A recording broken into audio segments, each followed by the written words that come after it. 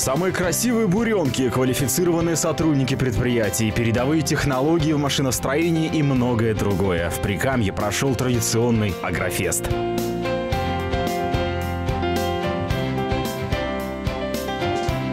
Нежна молодец. Первое место. Так держать.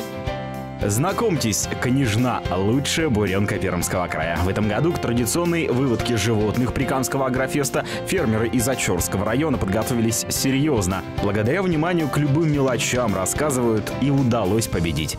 Телочка первотела хорошая попалась. Мыли, гуляли, приучали к себе, к рукам каждый день. Выводка животных – одно из самых ярких мероприятий Агрофеста. Здесь представлены лучшие представители чернопестрой, айширской, суксунской, герофордовской и абердин-ангусской пород крупного рогатого скота. По мнению члена жюри, корова должна не только приносить молоко, но и быть грациозной. Это постановка конечности, копыта, это форма вымени. Ну, я смотрю на все 18, поэтому и хожу так долго. Самым сложным, по словам участников, был выбор подходящей коровы для конкурса. К примеру, ту самую буренку-княжну из Очерского района сотрудники предприятия выбирали из тысячи кандидатов. У нас 683 фуражных коровы. Всего крупного рогатого скота 1300. За 2018 год мы надоили 7747 на фуражную корову. Впрочем, тема надоев – одна из основных на Прикамском агрофесте. Результатами здесь гордятся все. Только с начала года аграрии края увеличили валовый надой молока на 4%. Доили везде. В помощь шли современные технологии. Это доильный аппарат, переносной. Подключается, вот розеточка, пожалуйста, и процесс пошел. На ежегодном фестивале собрались 35 племенных хозяйств региона. Свой уникальный опыт на агрофесте есть у каждого фермера.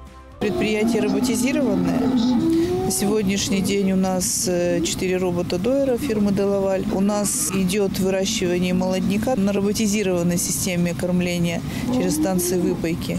На Агрофесте представлены не только представители животноводства, но и передовые технологии в машиностроении.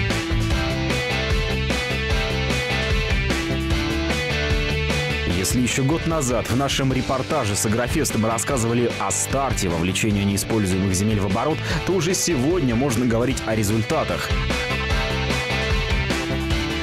Эти аппараты появились в Прикамье недавно. Их задача – подготавливать неиспользуемые земли под нужды сельхозпроизводителей. А таких земель в крае много. Муниципалитеты вернули невостребованные доли земельных участков общей площадью в 400 гектаров площадка около Агрофеста.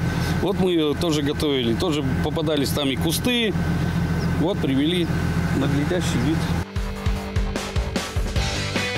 Необходимость в такой технике колоссальная, делятся аграрии. В прошлом году в Прикамье введено в оборот почти 10 тысяч гектаров земель сельхозназначения. В 2019-м, благодаря краевой поддержке, планируется ввести еще 8 тысяч. Это программа, которая действует по вводу земель сельхозназначения в оборот. Пилотный проект, наверное, это у нас в Перском крае. Я думаю, это неплохая затея и реализовать ее необходимо. На встрече с аграриями глава региона Максим Решетников отметил, краевые власти заинтересованы в увеличении земельных площадей, вовлекаемых в оборот. Сегодня возмещение затрат осуществляется по ставке почти в 6 тысяч рублей за гектар. На эти цели в бюджете предусмотрен 81 миллион рублей. Сейчас мы все больше и больше обсуждаем вопросы развития, да, что будет завтра, какая, какие условия, какие технологии применять, как нам вовлечь новые площади сельхозугодий в оборот. В рамках Агрофеста губернатор Прикамья также пообщался с аграриями. Ну и, конечно, лично оценил гастрономическое богатство региона на сельскохозяйственной ярмарке. Чтобы у вас была возможность, не знаю, раз в квартал или раз в месяц, сколько продукции есть, привозить и горожанам давать возможность. У них же нет возможности вот это вот все купить, понимаете? Но будем благодарны, мы участвуем во всех ярмарках. Надо, чтобы в каждом районе была по-хорошему ярмарка. Прикамские аграрии задали интересующие вопросы главе региона о дорожном строительстве, кадровом голоде, а также субсидированию малого бизнеса. По итогам обсуждения этих вопросов губернатор поручил Минпрому учесть потребности отрасли при формировании бюджета на 2020 год. Я в сельское хозяйство верю. Мы сейчас ведем такой глубокий экономический анализ всей вообще динамики развития края и где мы можем создать новые рабочие места и где мы можем, значит, привлечь дополнительные инвестиции. Ну, сельское хозяйство точно входит там в тройку самых необходимых к развитию. Впервые за многие годы в рейтинге регионов Приволжского округа Пермский край занял второе место и 17-ю позицию по стране. Пермский агрофест, по мнению отраслевого министра, это возможность подвести промежуточные итоги и определить новые задачи.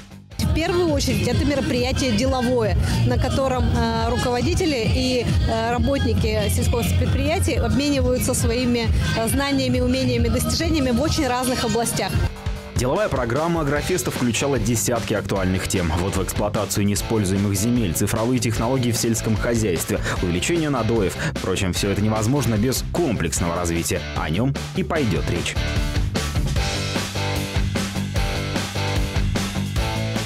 Прикамье стартует программа развития сельских территорий. Отправлены заявки почти на 10 миллиардов рублей. Максим Решетников поставил задачу Минсельхозу переоформить проекты по развитию села, которые есть, и все заявить на федеральный уровень. Очень важно качественно подготовить проектную документацию, заявки для того, чтобы максимально получить э, финансирование реализации программных мероприятий. На самом деле это возможность прорыва для сельских территорий Пермского края. До 2025 года на комплексное развитие сельских территорий России президент Владимир Путин утвердил направить 1 триллион рублей из федерального бюджета. Реализация этих проектов будет проходить по принципу софинансирования. 95% заложено из федеральной казны, 5% оплачивается из регионального бюджета. Вы просто скажите, что у вас есть эти проекты, что вы действительно это хотите. Мы разберем это с точки зрения значимости для региона, для каждого населенного пункта и будем заявляться в конкурс. Развитие аграрной отрасли – бесспорный приоритет отраслевого министерства. Сегодня краевые власти ставят задачи по развитию как крупнотоварного аграрного производства, так и небольших фермерских хозяйств и кооперационных объединений. Все ключевые предложенные проекты и предложения, озвученные на Агрофесте, будут проработаны министерством, а в дальнейшем реализованы.